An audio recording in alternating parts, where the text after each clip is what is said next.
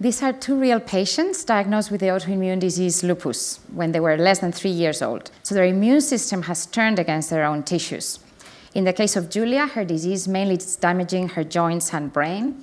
In the case of Carmen, the disease is affecting the kidneys and heart. So there is a range of ways in which lupus can manifest because it can be caused by many different immune pathways. That makes it very difficult for us to develop a cure or even effective therapies for lupus.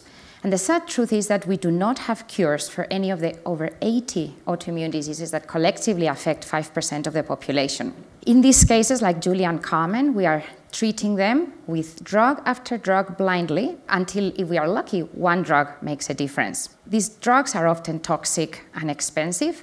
And the problem is that we do not understand the specific defects in cells or molecules that are causing their disease.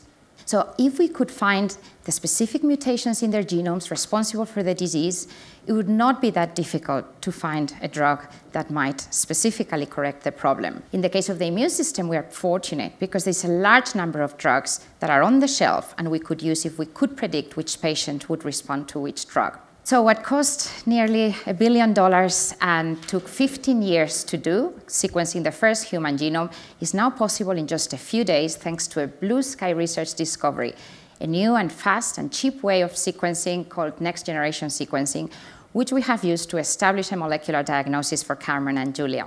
In the case of Julia, it was pretty straightforward. She had a mutation in a known protein that we understood the function, so it was relatively simple for us to generate the mutated protein in the laboratory and establish and prove that the mutation made it, lose, made it lose its function. So then we could know of a drug that would be more effective and less toxic than the combination of drugs that she's currently on. The case of Carmen is more complicated. We found a mutation likely to cause her disease, but we didn't really know how that protein worked. So, in this case, in order to understand the disease and find an effective drug, we need to come up with an additional highly specialized research tool, a mouse model that carries the same mutation as Carmen does.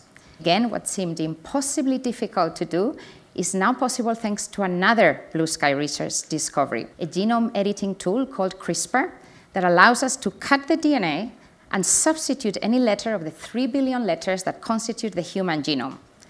And we have been able to do that. We now have a line of mice that are born with the same genetic defect as that of Carmen. We now can use these mice to understand the disease, and in the next few months or years, we could probably understand how the mutation causes disease and identify a drug that might be effective. So, in the old approach, we used to start with spontaneous mouse models that developed lupus and find drugs that cured the mice. Not surprisingly, because the mice were not based on real mutations found in real patients, these drugs have not been effective in treating humans. In the new approach, we select severe cases, identify the precise mutations, and generate bespoke mouse models of disease that we can use to understand how disease develop and how we treat them. So one of our worries is that this approach is far too costly for developing countries, which generally lack the infrastructure to perform this whole genome sequencing and to analyze it. Another worry is that the process is long. It takes my lab even several years sometimes to, to understand how each mutation works, even after we've successfully made the personalized mouse model. To complicate things further, it is likely that there will be a long list of genes that will be responsible for autoimmune disease, and that the disease might require more than one gene to be mutated. So the likelihood that any two patients will have the same gene or combination of genes is very small. So, is this feasible? Well, we think it is because once we've understood a few severe cases like those of Carmen and Julia, it is likely that we, have, we will have found unique characteristics of their disease that are shared by their mouse models. For example, an excess amount of proteins or substances in the blood.